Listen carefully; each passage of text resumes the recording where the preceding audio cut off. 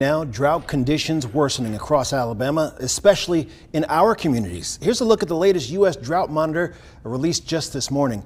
You can see one spot of extreme drought right in the heart of Shelby County. Several of the surrounding counties are dealing with everything from normal conditions to severe drought. And the dry conditions already taking a toll on farmers in our area. WVTM 13's Chip Scarborough tells us about the extra measures one farmer's taking to keep things going. Well, hot and dry.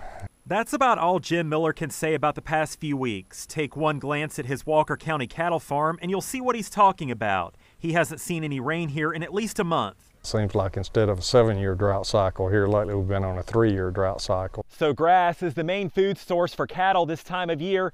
Miller says the grass would normally be up to right about here, but you see where it is now. Most people that aren't already feeding hay that they would normally feed in the fall and winter months are uh, probably expecting to feed hay within eight, ten days.